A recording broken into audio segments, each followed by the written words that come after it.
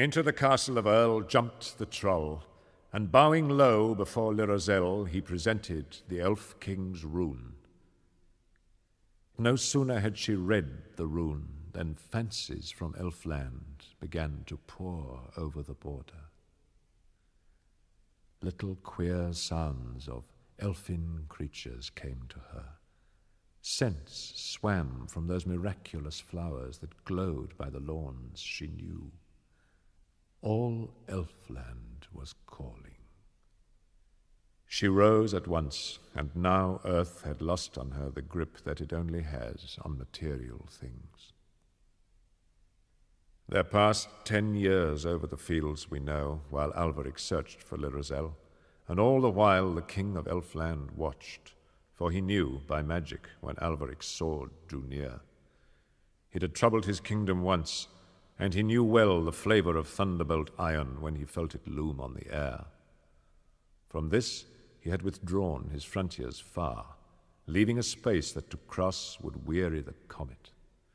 But when Alveric was far to the north, the Elf King loosened his grip, and Elf land came racing back as the tide over flat sands.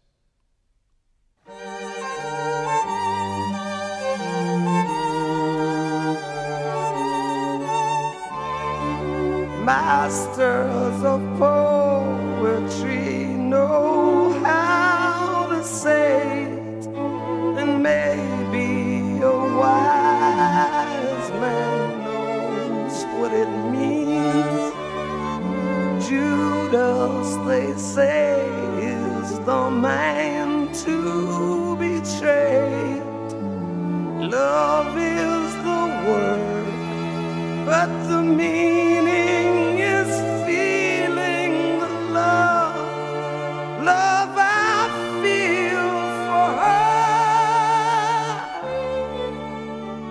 Love is a friend when your love is beside you. But love shows no mercy when you're all alone. Love is a princess, a princess from Elfland. Love is the word, but the meaning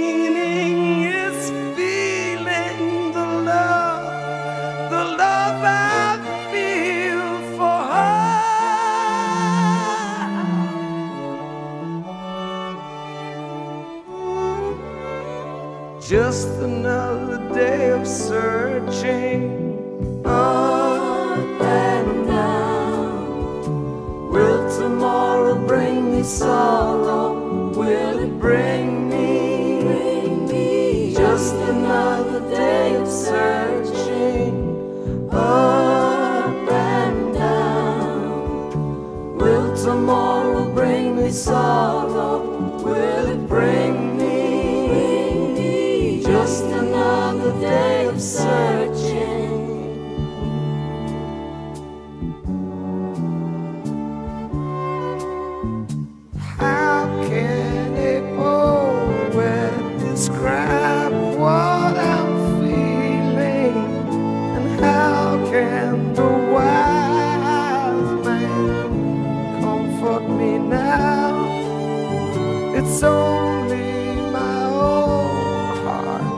that yearns for my princess.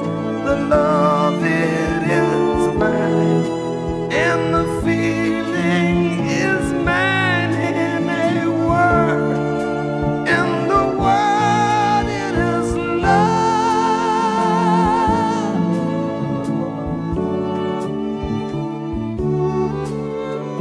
Just another day of searching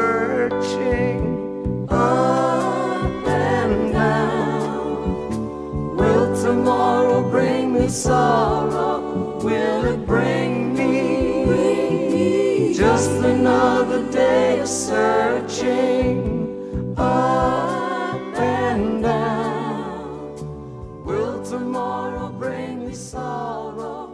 Will it bring me? Just